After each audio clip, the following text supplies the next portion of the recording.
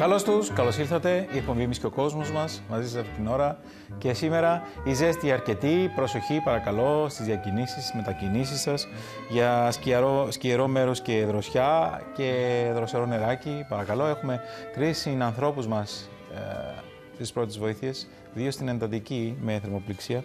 Ε, θα πρέπει να προσέξουμε λίγο. Είναι κρίμα και άδικο να υποφέρει ο κόσμος. Ε, προσέχετε και τα δάση μας, παρακαλώ, αν έχετε την καλοσύνη. Τελειώνουμε το μήνα σιγά σιγά σήμερα, Ιούλιο. Έχουμε 31, αύριο 1η Αυγούστου. Εμείς σας κρατάμε στην οφιά συνεχόμενα Ιούνιο-Ιούλιο. Θα είμαστε εδώ και τον Αύγουστο κάποιες μέρες.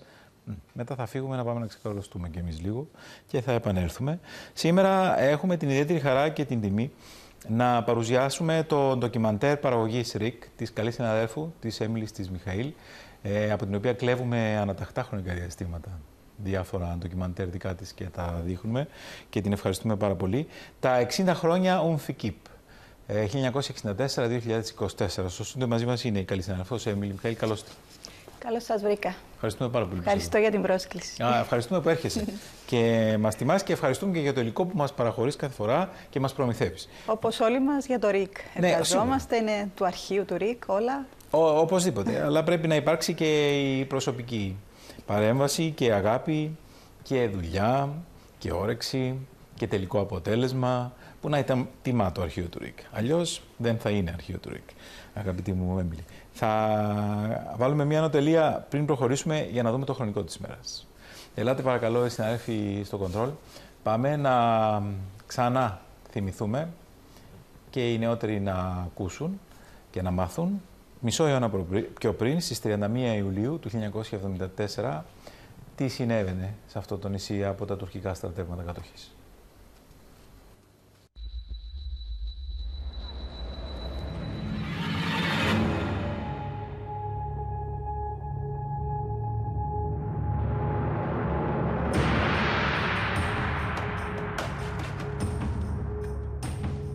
Στον απόϊχο της διακήρυξης των τριών εγκυτρίων δυνάμεων στη Γενέβη, ο Πρωθυπουργός Καρμανλή εκφράζει την ελπίδα ότι οι εχθροπραξίες θα τερματιστούν. Έχουν πληρωθεί όλοι οι τουρκικοί όροι, διακηρύσει ο Υπουργός Εξωτερικών της Τουρκίας του Ραντιούνε. Είναι το πρώτο σωστό βήμα. Καμία πλευρά δεν ευνοεί τη διχοτόμηση, δηλώνει ο Υπουργός Εξωτερικών της Βρετανίας James Callahan. Ανοίγεται ο δρόμος για μια διαρκή λύση του Κυπριακού, τονίζει ο Υπουργός Εξωτερικών της Ελλάδας, Γεώργιος Μαύρος. Η πραγματικότητα στην Κύπρο είναι εντελώς διαφορετική. Ο τουρκικός στρατός εισβολής βομβαρδίζει ανελαίητα και προελάβει προς τον Καραβά και τη Λάπιθο. Ο Γλάφκος Κληρίδης καταγγέλει την Τουρκία στα Ηνωμένα Έθνη. Οι συνέπειες του εκτοπισμού αμάχων γίνονται δραματικές. Ο Διεθνής Ερυθρός Σταυρός ετοιμάζεται για τη διανομή στους πρόσφυγες αντισκήνων, κρεβατιών και κουβερτών. Είμαστε με το Τρίκωμο. Είπαμε να φύγουμε. Ε, πιάσαμε ε, που καμιά φορά ρούχα όπως μπορέσαμε. Ήβραμε έναν τράκτορ, ευκήκαμε πάνω. Ήρθαμε στο Φρέναρος, που το Φρέναρος σε πήγαμε στη Λιοπέτρη, που το Λιοπέτρη καταντήσαμε, ήρθαμε εδώ κάτω. Πού μηνύσκεται εδώ κάτω; Εδώ, στο αντίσκηνο. Πόσα πρόσωπα μένετε κάτω από το αντίσκηνο; 23 πρόσωπα. Η Αμερικανική Πρεσβεία αναλαμβάνει πρωτοβουλία για την αποστολή ανθρωπιστικής βοήθειας. Πέφτουμε που κάτω στις τερατσίες. Πιο πατανίες επιάχαμε και πέφτουμε και μπορούμε τα κόκκαλα μας. Ούτε πάπλωμα δεν πιάχαμε ούτε μαύλουκα. Φαγιά έχουν τα μωρά. Ε, έχουν και ναι. Έχουμε κάτι. Έχουμε ψωμί και υπόλοιποι μόνο. Τέσσερις ημέρες είναι αν το φάει τα μωρά μας. Πέντε μέρες σήμερα.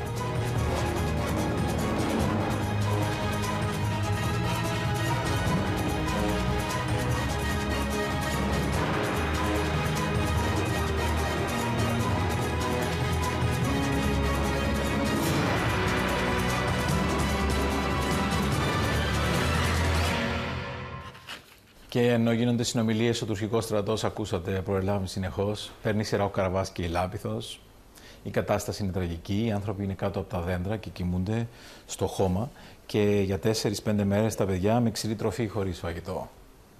Πού ήταν τότε αλήθεια όλοι αυτοί που σήμερα σχίζουν τα ημάτια τους για τα ανθρώπινα δικαιώματα των υπολείπων λαών; Αλήθεια, πού ήταν; Είναι και όχι μόνο σε εμάς, αλλά είναι ανά την περίπτωση Ναι. διαφορετική αντίδραση. Αλλά κάρτ. Ναι, Μάλιστα. δυστυχώς. Ε, και όπως σας προείπαμε, ε, θα είμαστε μαζί σας και το μήνα Αύγουστο, κάποιες εκπομπές. Θα φύγουμε για λίγο χρονικό διάστημα και θα επανέλθουμε. Ελάτε, συνάδελφοι στο Control, να σας πείσουμε για του λόγου το αληθές.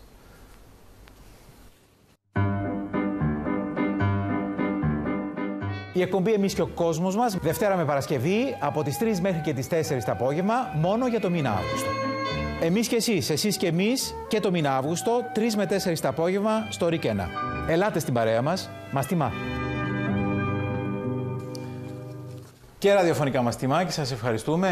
8 με 10 κάθε πρωί, εμείς και ο κόσμος μας ραδιοφωνικά. Δύο ώρες ραδιόφωνο το πρωί, μία ώρα τηλεόραση το μεσημέρι. Μαζί βέβαια με όλους τους καλούς συναδέλφους που βρίσκονται πίσω από τις κάμερες καθημερινά στο πόστο τους και στη θέση τους. Έμιλι. 60 χρόνια ομφική λοιπόν και ειρηνευτική δύναμη σε μια πατρίδα μισού αιώνα κατοχής. Και ένα ντοκιμαντέρ το οποίο προβλήθηκε και στο εξωτερικό. Ναι. Για πες. Έχει προβληθεί Αθήνα και Θεσσαλονίκη. Ε, μ, σε κοινό στην Αθήνα μ, με πρέσβεις από πρεσβείες χωρών, ε, ενώ στη Θεσσαλονίκη είχαμε φοιτητές και Μάλιστα. ακαδημαϊκό προσωπικό, Μμμ. Φοιτητές δημοσιογραφίας κυρίως, Του Αριστοτελείου; του Αριστοτελείου. Μάλιστα. Ε, μ, ένα ντοκιμαντέρ το οποίο Λουκά μου έγινε με... μ, ήταν μια ιδέα στις πολλές ιδέες που, που ρίχνονταν στο τραπέζι όταν ξεκινούσαν, ξεκινούσε το Ρίκολη αυτή την προσπάθεια Ναι. για τα 50 χρόνια εισβολής. Ε, ήταν ιδέα του Γενικού Διευθυντή του ΡΙΚ του Θανάση του Τσόκου. Ε, μ, θελήσαμε μαζί με τη Λιάνα την Κωνσταντίνου που είναι η σκηνοθέτηδα για να αναφερθούμε και στους ε, υπόλοιπους συντελεστές, η Λιάνα Κωνσταντίνου και η ομάδα που έχω μαζί μου και στο χρονογράφημα, η Μελάνη Τροκούδη, ο Σταύρος ο Κυριακίδης, ο Πάνικος Αγγελίδης. Ε, το είδαμε το θέμα των 60 ετών παρουσίας της ειρηνευτικής δύναμης των Ηνωμένων Εθνών στην Κύπρο από τη σκοπιά και της, ε, των 60 ετών διαίρεσης της Ναι. Κύπρου και των 60 ετών διαίρεσης της Λευκοσίας. Μάλιστα. Ε, με αφορμή το γεγονός ότι θα προβαλόταν στο εξωτερικό και αν δεν κάνω λάθος υπάρχει πρόθεση να προβληθεί και σε άλλες πόλεις της Ευρώπης. Ε, θέλαμε να δείξουμε πώς αισθάνεται κάποιος ζώντας σε μια διαιρεμένη πατρίδα για τόσα πολλά χρόνια. Ε, τα 50 χρόνια από την τουρκική εισβολή και την ε, διαίρεση της Κύπρου ε, δεν είναι το ορόσημο της διαίρεσης της Λευκοσίας, γιατί Σωστά. η σειρματόπλεγμα τραβήχτηκε από το 1964. Ναι. Ε, οπότε αν, ε, θέλαμε να δώσουμε αυτή τη διάσταση ε, και προς τα έξω. Ναι. 4 Μαρτίου του 1964 αυτό το ψήφισμα που τράβηξε αυτή την πράσινη γραμμή και διαιρούσε τη Λευκοσία σε σημεία της, σε τουρκικούς και ελληνικούς σύλλακες. Τα δυστυχώς. οποία σημεία, Λουκά μου, είχαν, ε, είχαν τρα- είχε τραβήξει σειρματόπλεγμα και πιο πριν, ε, επί α- Βρετανικής κατοχής Ναι. Οι Βρετανοί. Έχουμε βίντεο στο αρχείο του ΡΙΚ που μαρτυρεί ότι σειρματόπλεγμα στην Ερμού και στις γειτονιές της Λευκοσίας τραβούσαν και οι Βρετανοί Μάλιστα. για να χωρίζουν ε, Ελληνοκύπριους, Τουρκοκύπριους στις ε, γειτονιές και ήταν έτσι για μένα που δεν το γνώριζα όταν έπεσα πάνω στο αρχείο ε, ήταν μια συγκλονιστική ανακάλυψη Βέβαια. ότι υπήρχε πάντα εκεί Μάλιστα. η ιδέα του, Τους χωρι- βόλευε αυτή η ιδέα του τους Βρετανών. διαχωρισμού. Ναι. Το διέρη και Βασίλη, βέβαια. Ελάτε, να αρχίσουμε, να αρχίσουμε να βλέπουμε σιγά σιγά. Ελάτε, παρακαλώ, καλή συνέντευξη στο Control. Ε, 60 χρόνια ομφική, 1964-2024. Αυτό το ντοκιμαντέρ παραγωγής RIC με τη δημοσιογραφική επιμέλεια της καλής συναδέλφου Έμιλης Μιχαήλ.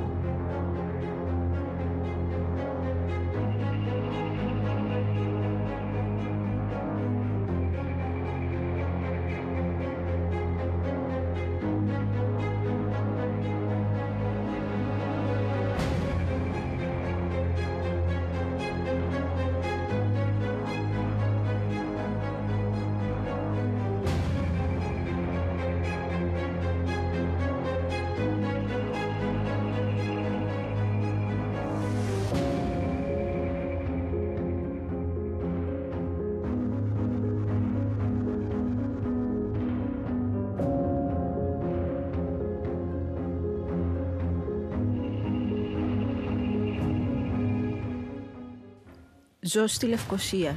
Η πόλη μου δεν μοιάζει με καμιά άλλη πρωτεύουσα της Ευρώπης. Θαρής και κάθε διαδρομή οδηγεί στο ίδιο αδιέξοδο. Συρματόπλεγμα, βαρέλια, πινακίδες σάλτ και ο δρόμος σταματά ως εκεί. Όταν ζεις στη Λευκοσία, ποτέ δεν λησμονείς ότι ζεις υποκατοχή. Οπότε ξεχνιέσαι, ορθώνεται πίσω από κάθε πολυκατοικία μαραζωμένος ο πενταδάχτυλος, υπόμνηση της τραγωδίας. Ζω σε μια πόλη με αδιέξοδα, με όρια που δεν επιτρέπεται να τα ξεπεράσεις. Βαδίζοντας κατά μήκος της πράσινης γραμμής, φανταζεί τόσο απίστευτο πως τα σειρματοπλέγματα τραβήχτηκαν σε αυτούς τους δρόμους 60 χρόνια πριν, λίγες ώρες πριν χαράξει το νέο έτος 1964.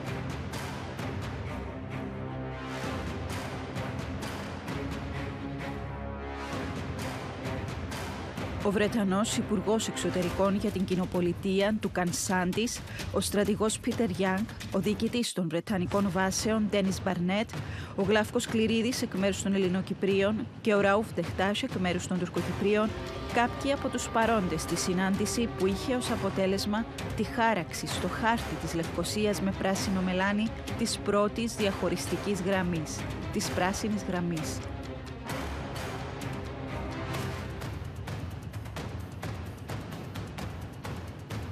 Η δύναμη των Ηνωμένων Εθνών στην Κύπρο ιδρύεται από το Συμβούλιο Ασφαλείας με το ψήφισμα 186 του 1964. Η Ουνφική πεγκαθίσταται στη Λευκοσία την 4η Μαρτίου 1964. This morning, I assumed command of the United Nations force in Cyprus, and the force became operational as from 0500 hours today.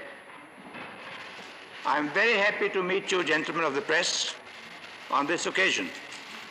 And I look forward to very good relations between the force and you in the difficult task ahead of us. Needless to say, I personally consider it a great honor to be in command of an international peacekeeping force set up by the Secretary General in pursuance of the resolution of the Security Council. And I feel it a privilege that the Secretary General, as well as the governments of the participating states, have shown such confidence in me. The force, as you know, will consist of contingents from Canada, Finland, Ireland, Sweden, and the United Kingdom. Almost the entirety of the Canadian contingent is already here. Advance parties from Finland and Sweden are expected to arrive this evening, and from Ireland tomorrow.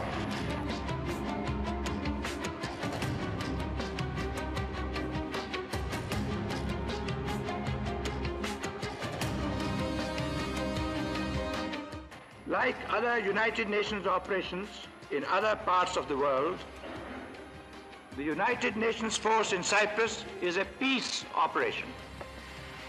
As such, it will use peaceful means to solve problems to the greatest possible extent.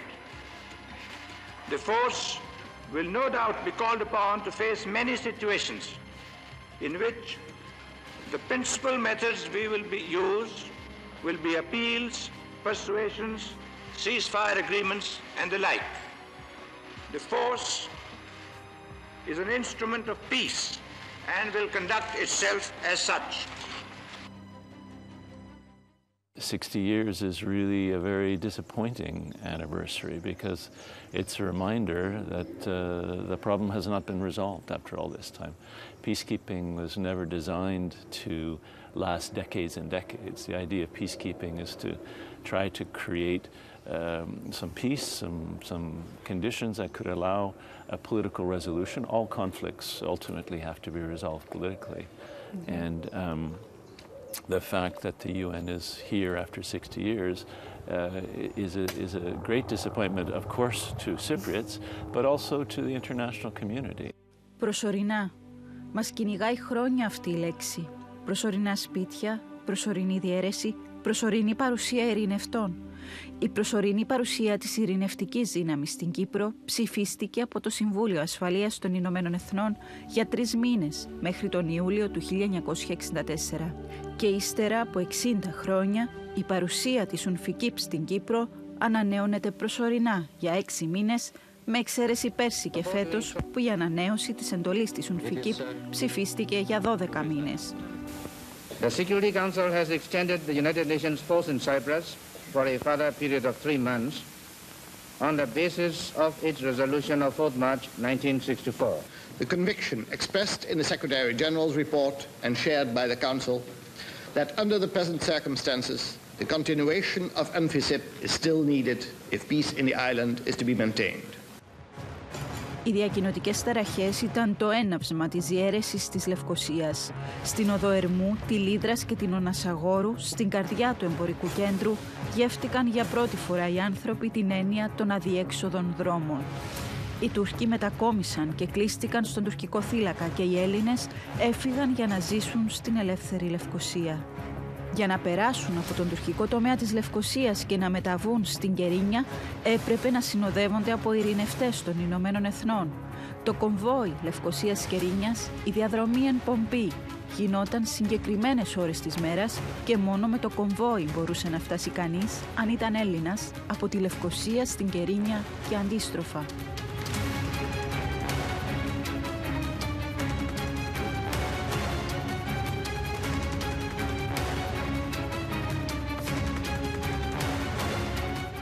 Συγκρούσεις και εντάσεις υπήρχαν, αλλά για τους ειρηνευτές, μετά τα πρώτα ταραγμένα χρόνια, η Κύπρος δεν ήταν δύσκολη αποστολή μέχρι το 1974.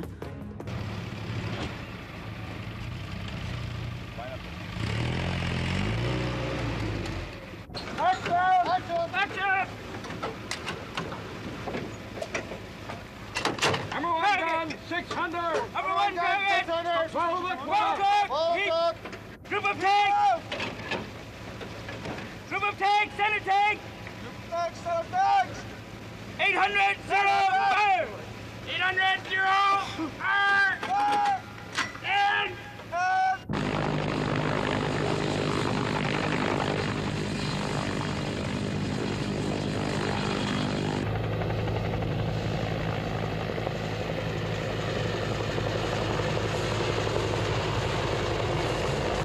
Το ΡΙΚ μετέδιδε ειδική πολιτιστική εκπομπή στην τηλεόραση, παρουσιάζοντας διαφορετικές ψυχές από την κουλτούρα των χωρών των ειρηνευτών. Καταγράφηκαν τηλεοπτικά ακόμη και γάμοι μεταξύ ειρηνευτών και Κυπρίων.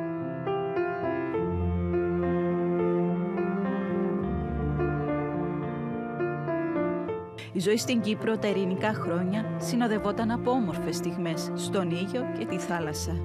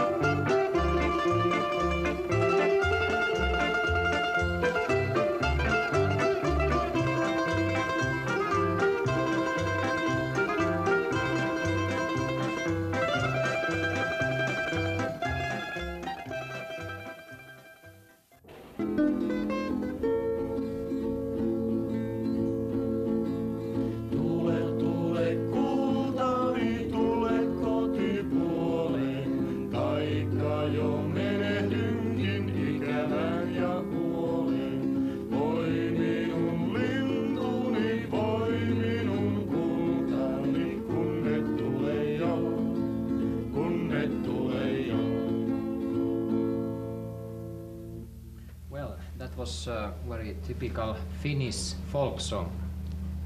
Um, the words are like, uh, My darling, you are so far away. Why don't you come here to me? Well, this means that uh, you are missing your country. Of course. Uh, do you like uh, Greek music? I like very much, especially buzuki music. And how much do you enjoy yourself in Cyprus? I myself, uh, I enjoy myself very much uh, because the climate is very hot and my salary is very good. And what about your guitar? Uh, I play very much in my leisure time. This is very good hobby. Well, what are the main places you spend your leisure here? I think that we are mostly in our messes and sometimes uh, in summertime we visit very often on the beach. And do you have any friends here in Cyprus? Yes, of course, I have some friends and in the first time I was Cyprus I had very many Cypriot friends. Do you have any girlfriend here? Yes, I have. Cypriot? She's, huh? she's Finnish, Ah, she's Finnish, she's not Cypriot. not Cypriot. Don't have any contact with Cypriot girls? Yes, we ha- I think that we have, but in cabaret. Not All in cabaret. I think so. It's most. okay. Do you like to play something more for us? Yes, of course. Another song? Yes, we have one, uh, one very beautiful song. Is telling about Finnish landscape, about uh, many thousand lakes and forest.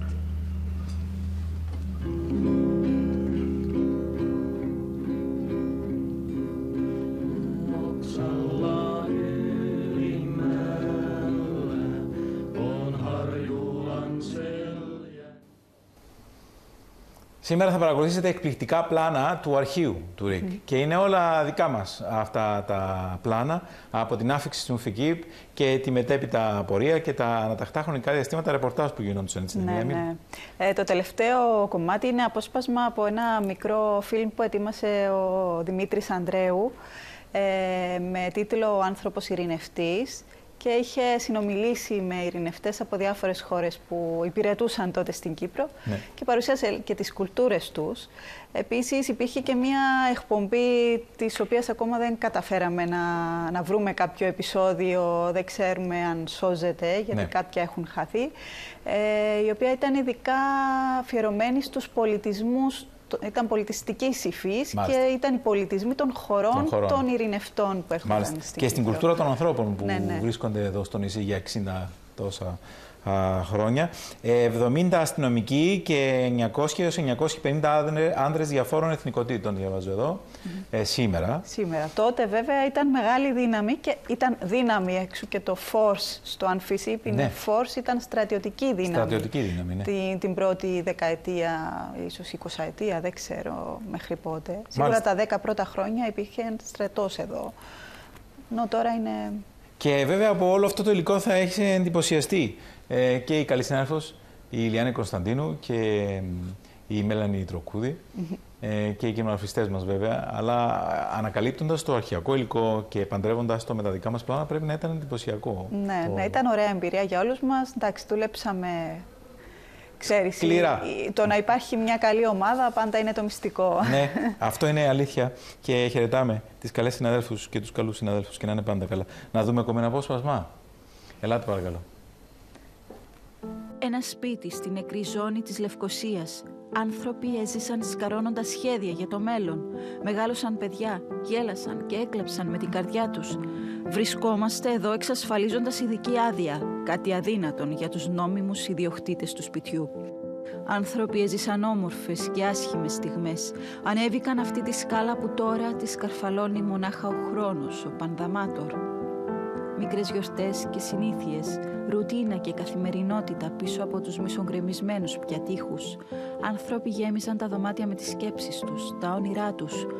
Τώρα τα γεμίζει η σιωπή.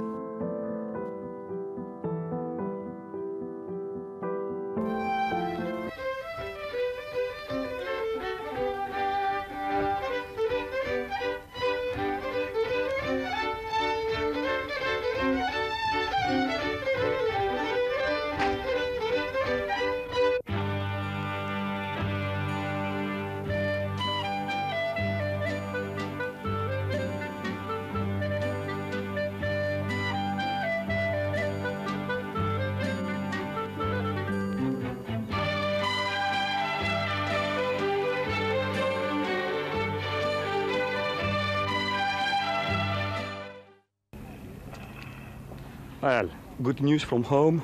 Certainly, yes. They thank me for the things I sent them and tell me they are very glad for them. What did you send them? Some uh, baskets and ceramics from Cyprus. Uh, tell me, what made you come to Cyprus? Want to take a look around in the world and make service in a good peace. And how do you find Cyprus now? Well, it's very beautiful down here. It's warmer than at home. 187 people lost their lives while serving Cyprus. A quite big number for us. Yeah. Yeah. Um, most of them were during the invasion, the Turkish invasion, and backwards. Most of them were in the 60s. Mm -hmm. um, we had 12,000 troops in those days, and um, the violence was happening all over the island.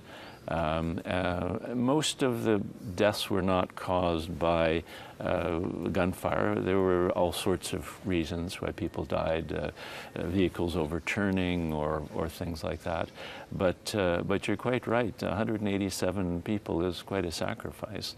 We've had over 150,000 uniformed people in, in, Cyprus over the last 60 years. Mm-hmm. And that's one of the messages of our 60th uh, anniversary, which is not at all a celebration, but it's to pay tribute to the 43 countries who have made this very serious investment, and then the sacrifice of those 150,000 people, including 187 who, who died.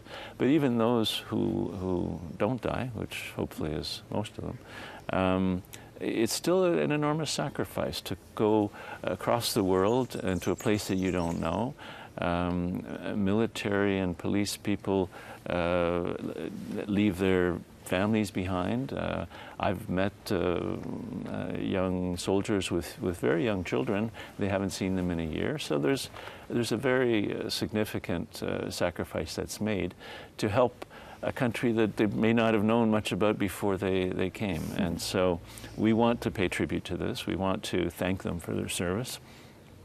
And we want to uh, pay particular tribute to the ones that died, and to send the message that, you know, this is a reminder that this problem has not been resolved, and we need to uh, redouble uh, our efforts at every moment to try to solve the Cyprus problem.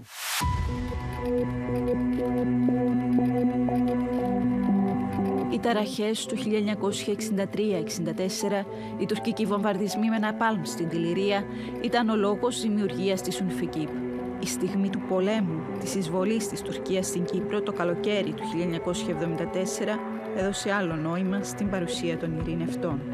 Kiko Camp, held by 400 Finns and a smaller number of British soldiers with ferret armoured cars, was the first place to be hit by the Turkish air attacks, and since then it's been virtually cut off. Early on, the hospital was hit, just a couple of minutes after it had been evacuated. Then barrack rooms took both bombs and mortar fire from the Turkish front line about three miles away. Fourteen Finns and three British soldiers were hit early on, even though some had taken refuge in covered slit trenches. After last night's shooting, it appeared that the UN was ready, for the first time, to do something concrete in order to preserve the shaky Cyprus ceasefire. Swedish, British and Canadian armoured vehicles and infantry moved out of the UN's Famagusta headquarters shortly before 7.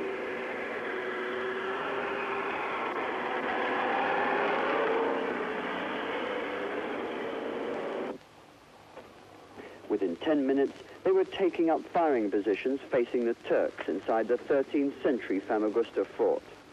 Behind them, the Greek positions.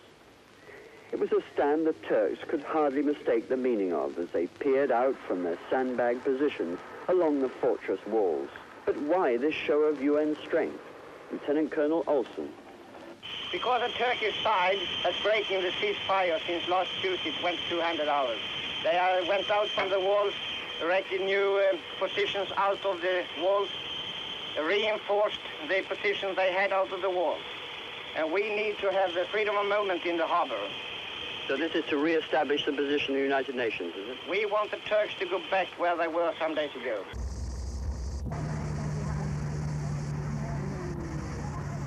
Few refugees, possibly two trucks, are still coming through my location. Uh, two truckloads of refugees have just come past my location, over. Το ερυπωμένο αεροδρόμιο Λευκοσίας. Μια θλιβερή εικόνα αν βρεθεί σήμερα εδώ. Αυτό που σου έρχεται στο μυαλό είναι δύο εικόνες. Η μία, η Αλίκη Βουγιουκλάκη να κατεβαίνει από το αεροπλάνο με το φαντασμαγορικό καπέλο της και η άλλη, ο ήρωας της Κύπρου, Γεώργιος Παπαμελετίου, ο άνθρωπος που μαζί με τους άντρες του κράτησε το αεροδρόμιο Λευκοσίας κατά τη διάρκεια του πολέμου το 1974 και είναι αυτός που παρέδωσε τελικά στα Ηνωμένα Έθνη το αεροδρόμιο και σε αυτόν οφείλουμε το γεγονός ότι σήμερα δεν είναι κατεχόμενο.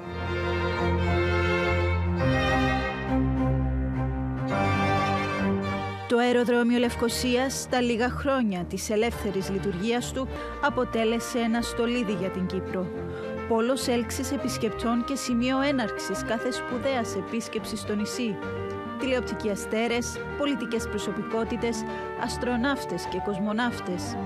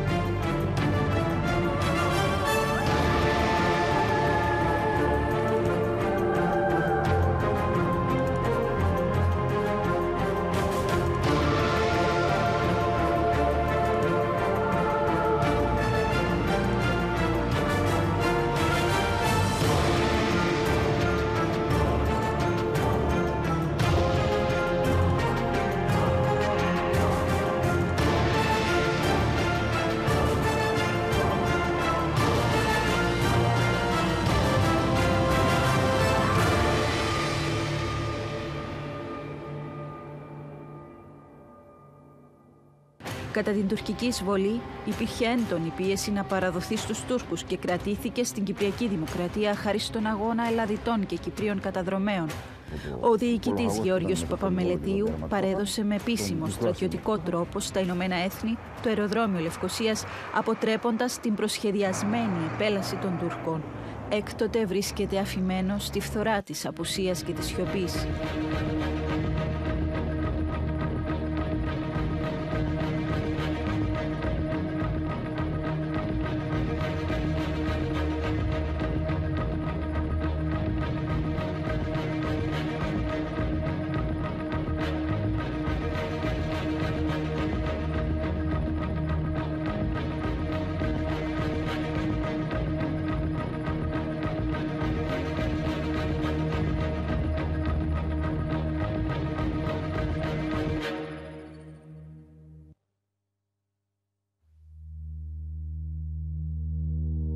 Στην Κύπρο, ένα μικρό νησί στο νοτιοανατολικό άκρο της Μεσογείου, εκτείνεται μια νοητή γραμμή η οποία μοιράζει την πατρίδα μου στα δύο.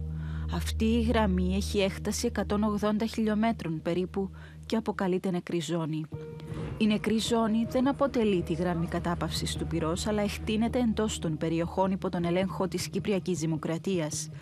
Εν τη απουσία συμφωνίας κατάπαυσης του πυρός, αυτή η γραμμή μετετράπει σε ουδέτερο έδαφος και είναι χωρισμένη διοικητικά από την Ούμφη σε τρεις τομείς. Τον τομέα 1, από τα κόκκινα ως το Μάμαρι, διοικούν κυρίως Αργεντίνοι ειρηνευτές, τον τομέα 2 από το Μάμαρι ως το Καϊμακλή διοικούν Βρετανοί ειρηνευτές και τον τομέα 4 από το Καϊμακλή μέχρι την Αμόχωστο διοικούν στο παρόν στάδιο Σλοβάκοι ειρηνευτές.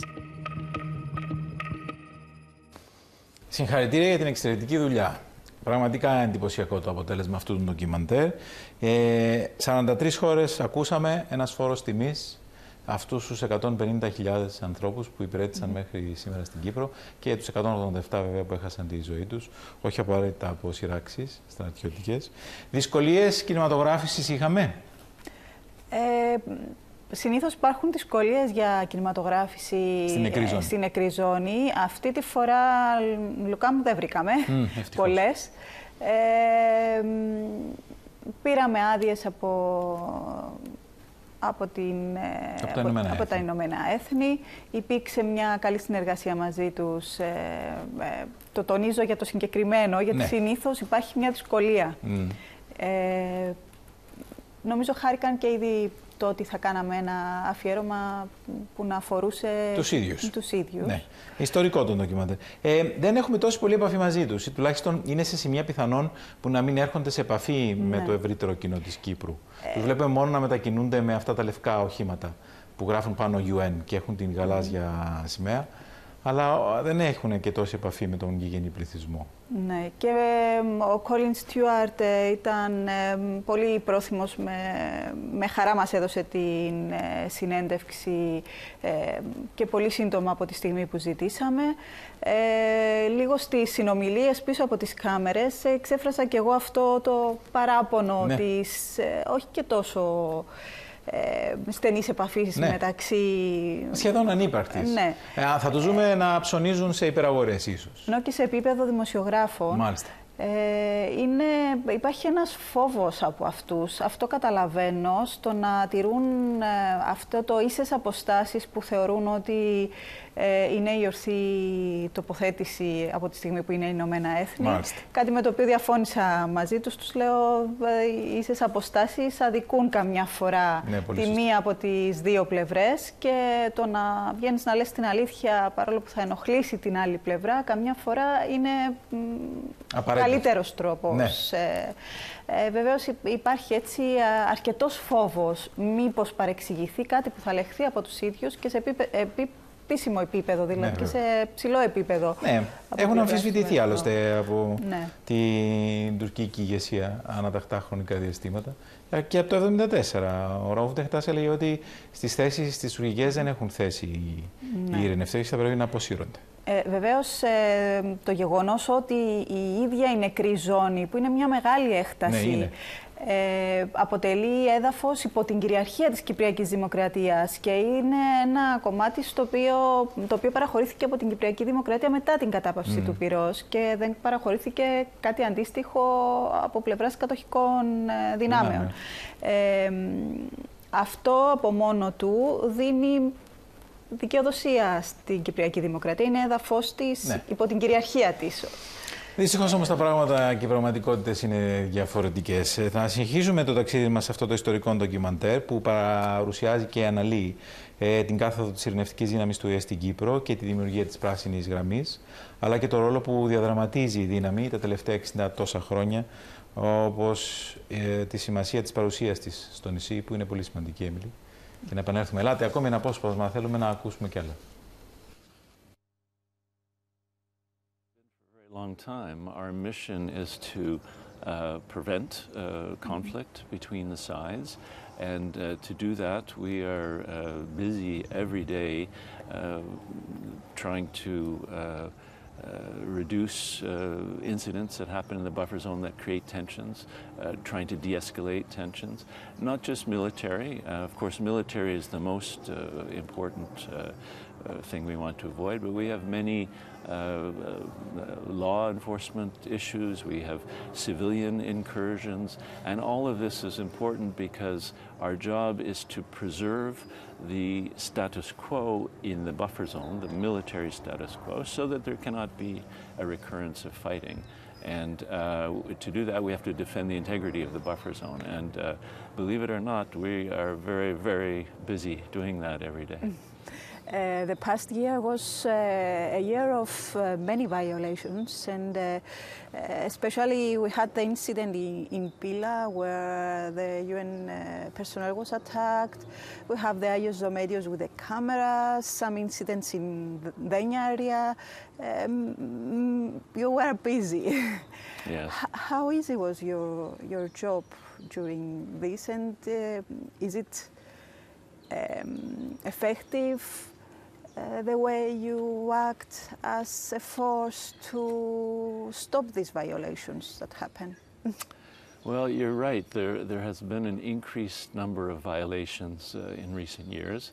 Our job is very difficult because we, uh, we use military, police, civilian personnel, but we don't use force. We don't have, we're not a fighting force. So the tools that we have uh, basically come down to persuasion.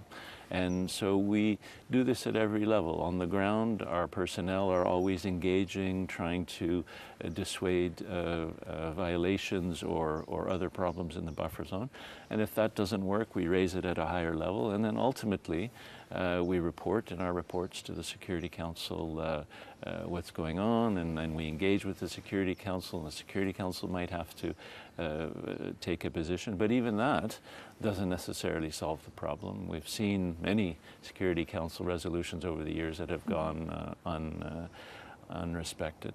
So uh, it is very difficult uh, because uh, we have limited tools uh, and we do our best with what we have. And uh, but uh, at the same time, you know, uh, Cyprus is a relatively peaceful place, and uh, there hasn't been active fighting in 50 years. And I think the peacekeeping mission can take some credit for that.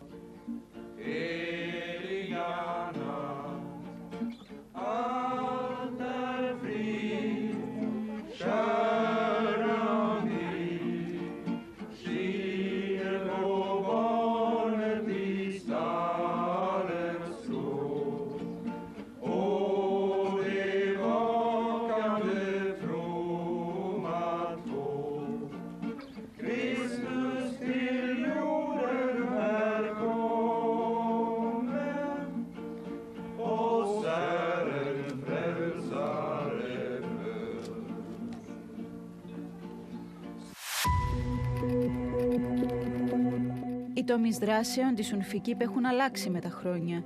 Γίνονται προσπάθειες για ανάπτυξη πολιτικών που θα φέρουν κοντά τις δύο κοινότητες, δράσεις για την προστασία του περιβάλλοντος, ενώ η δύναμη πρωτοπορεί ως προς τον αριθμό και την ανέλυξη των γυναικών ειρηνευτών. Now, uh, is one of the, I think, probably the lead uh, peacekeeping mission around the world in terms of uh, not only the number of women we have in all of our services, but the role that women play. As you know, we have had women force commanders, we Mhm. have had women heads of mission.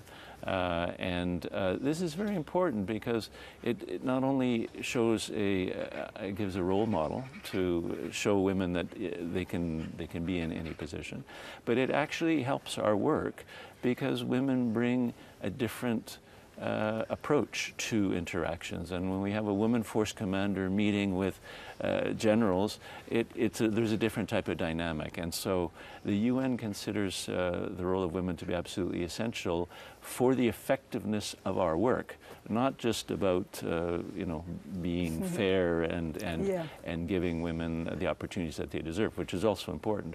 But it's also it's just good practice.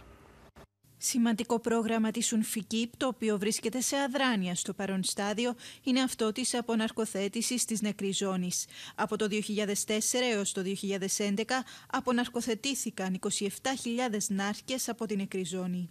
Η υπηρεσία αποναρκοθέτησης των Ηνωμένων Εθνών αποτελεί ένα απόσπαστο τμήμα της δύναμης στην Κύπρο από το 2016. We have, we still have uh, dedicated expertise, uh, and we're ready at any moment to resume the work.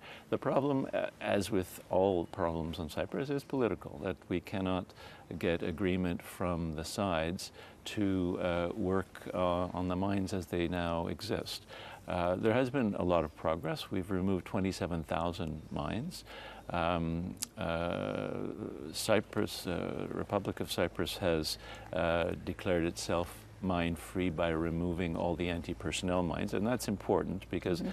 it's the anti-personnel mines that are the most dangerous to, to civilians. So There has not been an incident involving civilians in a very long time. Um, but uh, of course, we have a long way to go to make the island completely uh, free of mines.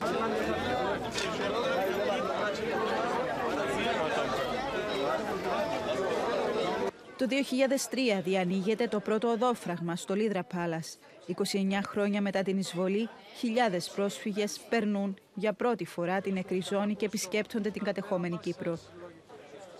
Απονόμιμοι ιδιοκτήτες, επισκέπτες στο σπίτι τους, στο χωριό, στην πατρίδα τους.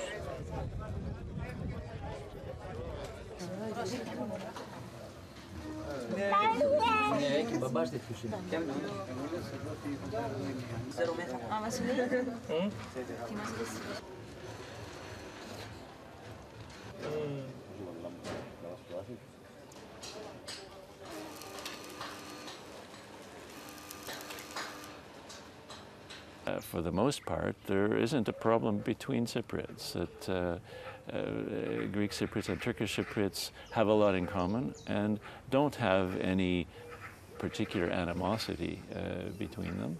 Uh, the problems I see are between uh, sort of the political uh, class of the two sides, who have ideas about what solution they want, and so I think the key is um, for people who want a solution to let their leaders know that they want a solution and support their leaders in making difficult decisions because there's no such thing as a solution without some compromise, without some, um, you know, uh, some, some difficult decisions. This is what leadership is all about, is making difficult decisions.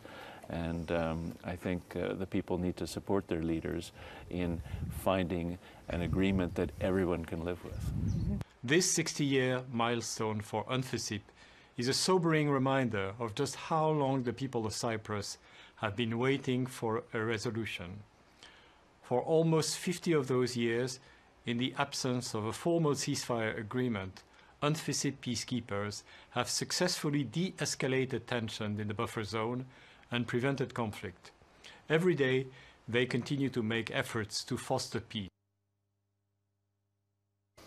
60 χρόνια ενευτικής δύναμης σε μια πατρίδα μισού αιώνας, κατο, ε, μισού αιώνα κατοχής και 60 χρόνια ομφική 1964-2024, το ντοκιμαντέρ παραγωγής του Ραδιοφωνικού Ιδρύματος Κύπρου με θέμα την αποστολή της ενευτικής δύναμης στην Κύπρο. Στο στούτο μαζί μας η καλή θάναφος Έμιλη Μιχαήλ, αυτή την ώρα συντονίζεστε, η οποία επιμελήθηκε το ρεπορτάζ μαζί με την καλή θάναφο Λιάννα Κωνσταντίνου και την, ε, ε, την ε, Μέλανη Τροκούδη. Ε, τα γεράματα βλέπεις. Άρχισαν σιγά σιγά και φαίνονται. Ε, και βέβαια τους συνάδελφους κινηματογραφιστές. Το πολύ πολύτιμο αρχείο μας για άλλη μια φορά έχει αποδειχθεί θησαυρός, όπως φροντίζω να λέω κάθε φορά. Και είναι αυτό το οποίο ε, αναδεικνύει και τη σημαντικότητα, αλλά και του λόγου του αληθές, ότι έγιναν κάποια πράγματα. Γιατί ίσως σε 50 χρόνια από τώρα να αμφισβητηθούν όλα αυτά. ότι δεν έγιναν και ότι δεν υπήρξε ποτέ ναι. κάτι σχετικό. Εκτός από ιστορικό τεκμήριο, είναι και η καταγραφή της στιγμής είναι τόσο σημαντικό. Και δεν είναι μόνο ιστορικά, κοινωνικά, από κάθε άποψη. Είναι ένα αποτύπωμα της εποχής που είναι σπουδαίο να μπορείς να το, να το βλέπεις ξανά. Ναι, Γι' αυτό έχουμε και εμείς καθήκον να δημιουργήσουμε τώρα για μετά. Ναι, ναι πολύ σωστά, ναι. Ναι, αλλά μπορείς να, να το ανακαλείς, να ζητάς πληροφορίες, ε, και για οργανωμένα σύνολα, αλλά και για μονάδες και για φοιτητές και για ερευνητές mm. και ούτω καθεξής. Και βλέπεις ότι και το πιο πρόσφατο αρχείο, δηλαδή βλέπαμε τη διάνοιξη των οδοφραγμάτων, ναι. ε, ακόμα και αυτά τα πιο πρόσφατα, είναι σημαντικό να, να υπάρχει καταγραφή, να, να θυμίσει στον κόσμο τι έγινε. Και θεωρώ ότι αυτά τα 60 χρόνια παρουσίας της ειρηνευτικής δύναμης των Ηνωμένων Εθνών στην Κύπρο είναι μια υπενθύμηση για μας ε, στο ότι δεν, δεν υπήρξε ειρήνη, υπήρξε μια εκεχηρία, βρισκόμαστε σε μια εκκρεμότητα, ε, υποκατοχή. Αυτό μας θυμίζει η ύπαρξη ειρηνευτικής δύναμης και είμαστε η μοναδική χώρα στην Ευρώπη αυτή τη στιγμή στην οποία υπάρχει δύναμη των Ηνωμένων Εθνών και η ειρηνευτική δύναμη της ε, Κύπρου, η Ανφισίπ, είναι από τις παλαιότερες. Είναι ναι. η δεύτερη παλαιότερη μετά αυτή που βρίσκεται στο, για το Μεσανατολικό, στην περιοχή της, της ε, Παλαιστίνης. Της Παλαιστίνης ναι. ε, οπότε είναι, είναι μια υπενθύμηση ότι βρισκόμαστε σε μια ε, κακή εκκρεμότητα ε, και είναι και μια υπενθύμηση για τα όσα έχουν ζήσει όλοι αυτοί οι άνθρωποι που τα έχουν ζήσει. Πολύ σωστά. Κατοχή, προσφυγιά, ε, η επιστροφή μετά υπό τους όρους του κατακτητή να επιστρέψεις επισκέπτης στο σπίτι σου για να το δεις. Ε, και μέχρι σήμερα τα περιστατικά που γίνονται συνέχεια στην νεκρή ναι, ζώνη. Ναι. Και αναταχτά χρονικά διαστήματα και μας υπενθυμίζουν ε, τις πραγματικότητες γιατί έχουμε βολευτεί στον καναπέ. Ε, Έμιλη, αγαπητή μου συνάδελφε. Ε, είδαμε και τις εικόνες των παιδιών που πήγαιναν να πάρουν ένα παιχνίδι, ένα δώρο. Δεν ήξεραν τι είχε μέσα τυλιγμένο ε, το 1974 και το 1975 ε, μόνο τα απαραίτητα υπήρχαν, να ξέρεις. Είχαμε συσίτιο στα δημοτικά. Πηγαίναμε η μισή το πρωί και άλλη μισή το απόγευμα, γιατί δεν μας χωρούσαν τα σχολεία. Ε, τα υπόλοιπα ήταν κατεχόμενα. Είχαμε ψήρες. Ε, πίναμε ένα ποτήρι βρα- ζεστό γάλα ή ένα ριζόγαλο με λίγη κανέλα. Στην καλύτερη περίπτωση υπήρχε και ένα κομμάτι ψωμί με μαρμελάδα ή βούτυρο με ζάχαρη στα σχολεία. Ε, δεν ήταν εύκολα τα πράγματα και εκείνες τις ξηρές τις μπάρες γάλακτος που ήταν λευκές μπάρες γάλακτος, δεν ήταν σοκολάτα, όπου τις παίρναμε και χαιρόμασταν πάρα πολύ στα σχολεία. Δύσκολη καιρή. Και δει για τα μικρά παιδιά. Τώρα θα μου πεις για τους μεγαλύτερους ακόμη δυσκολότερα τα πράγματα, γιατί έπρεπε να συντηρήσουν τις οικογένειές τους Να αρχίσουν Τα από την αρχή, από το μηδέν.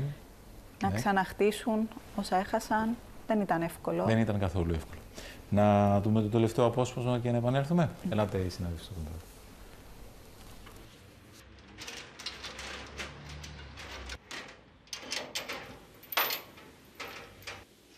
Μια κλειδωμένη πόρτα και πίσω της οι γειτονιές της Λευκοσίας ξεπροβάλλουν σαν φαντάσματα χορταριασμένες και βουβές, νεκρή ζώνη.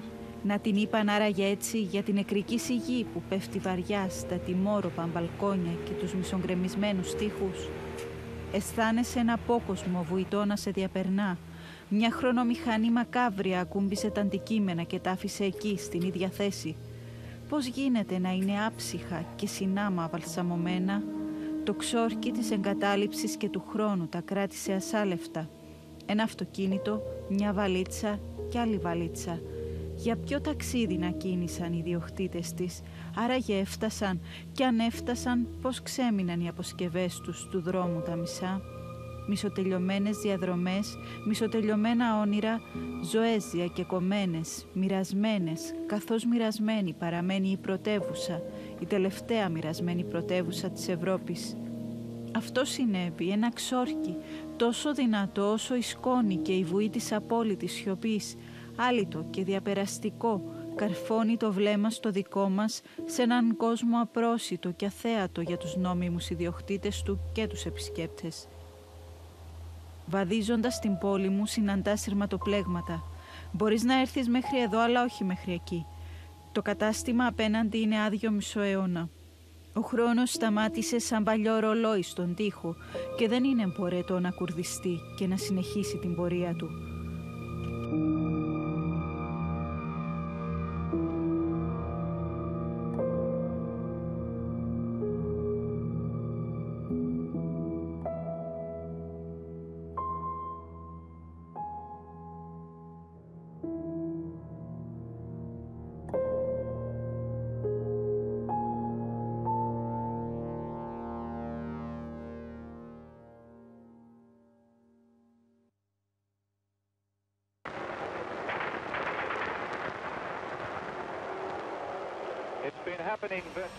Παιχνίδι, αφημένος στην άκρη του δρόμου.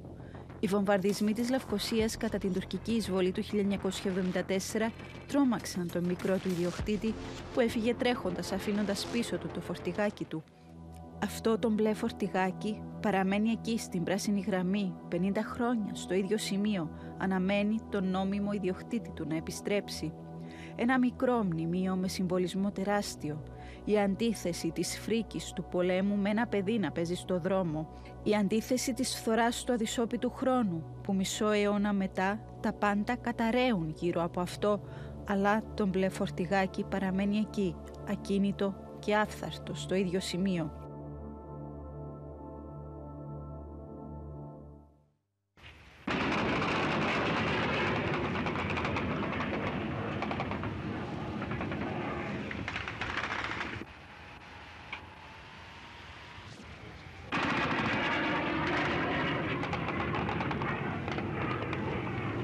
Λίδρα Πάλας.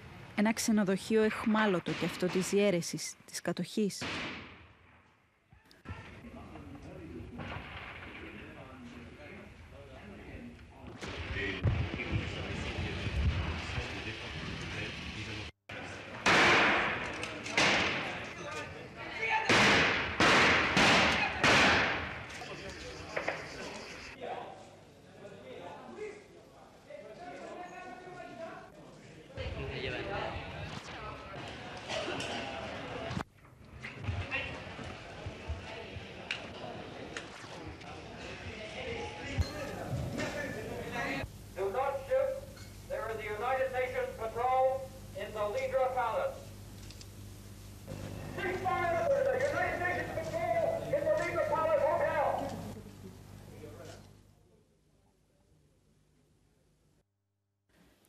Χρόνια 150.000 ειρηνευτές από 43 χώρες, 187 έχασαν τη ζωή τους στην Κύπρο.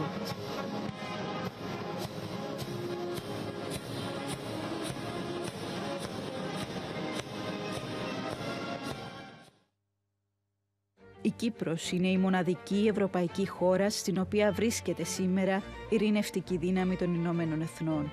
Η UNFIGIP είναι μία από τις μακροβιότερες ειρηνευτικές αποστολές στον κόσμο.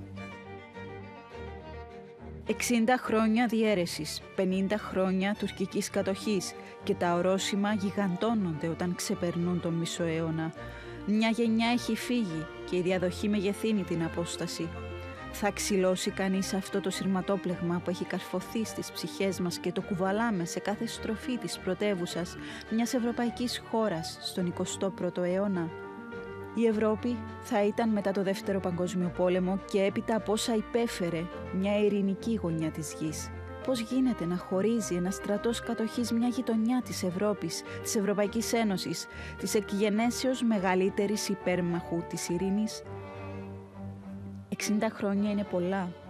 Ήρθε η ώρα, οι συνθήκες, η ειρήνη, η απομάκρυνση του τουρκικού στρατού, το ξύλωμα της κατοχής να διώξουν τα ειρηνευτικά στρατεύματα των Ηνωμένων Εθνών από την Ευρώπη, να απομακρυνθεί κάθε πινακίδα Αλτ και Στόπ από τη Λευκοσία, να σηκώσουμε το σειρματόπλεγμα και την νεκρή ζώνη, να φύγει κάθε τι που διχάζει την Κύπρο στα δύο.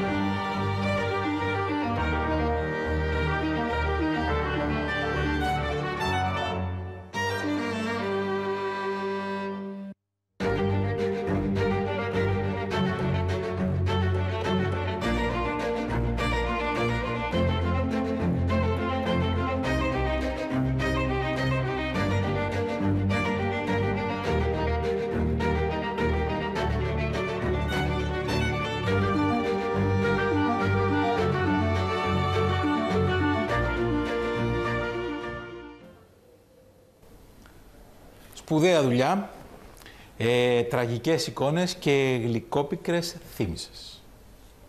Ε, και ευχαριστούμε πάρα πολύ για αυτή την εμπιστοσύνη σήμερα. Εμείς ευχαριστούμε που δίνεις την ευκαιρία στους τηλεθεατές, τηλεθεατές αυτής της ζώνης να έχουν την επαφή με τον ντοκιμαντέρ και είναι σημαντικό αυτό που γράφουν τα χαρτιά σου Λουκά μου, εγώ αυτό θα, θα ήθελα να πω στη τελευταία κουβέντα, ότι δεν πρέπει να ξεχάσουμε. Ναι, Οφείλουμε να... μην ξεχάσουμε. Είναι καθήκον μας. Θα πρέπει να κρατήσουμε και τις δύο λέξεις. Και αυτοί που ζήσαμε και όσοι ζήσαμε τις συνέπειες. Γιατί μπορεί να μην, κάποιοι από εμάς να μην είχαμε γεννηθεί τότε, αλλά έχουμε ζήσει τις συνέπειες. Ναι. Οπότε οφείλουμε να, να κρατήσουμε αυτό. Μακριά από φανατισμούς και ακρότητες. Θα ξυλώσει επιτέλους κάποιος αυτό το σηματόπλεγμα; Δεν ξέρω. Ε, όπως είχαμε πει στην αρχή, από την εποχή της ε, απεικιοκρατίας έγινε η προσπάθεια να τραβηχτεί το σειρματόπλεγμα. Δεν ήταν τυχαίο, θεωρώ. Ε, ίσως βολεύει ναι. κάποιος να υπάρχει εκεί. Ας ευχηθούμε ότι θα ξυλωθεί σύντομα. Ευχαριστώ πάρα πολύ για την παρουσία σου εδώ. Εγώ ευχαριστώ. Και να σε πάμε το καλά. Ευχαριστούμε πολύ και εσάς που μας κάνετε συντροφιά μέχρι αυτή την ώρα. Αυτός είναι ο κόσμος μας. Η εκπομπή σε επανάληψη τα μεσάνυχτα από το ΡΙΚ 2. Εμείς σας περιμένουμε αύριο το πρωί, δύο ώρες ραδιόφωνο. 8 με 10, 97,2. Γεια χαρά.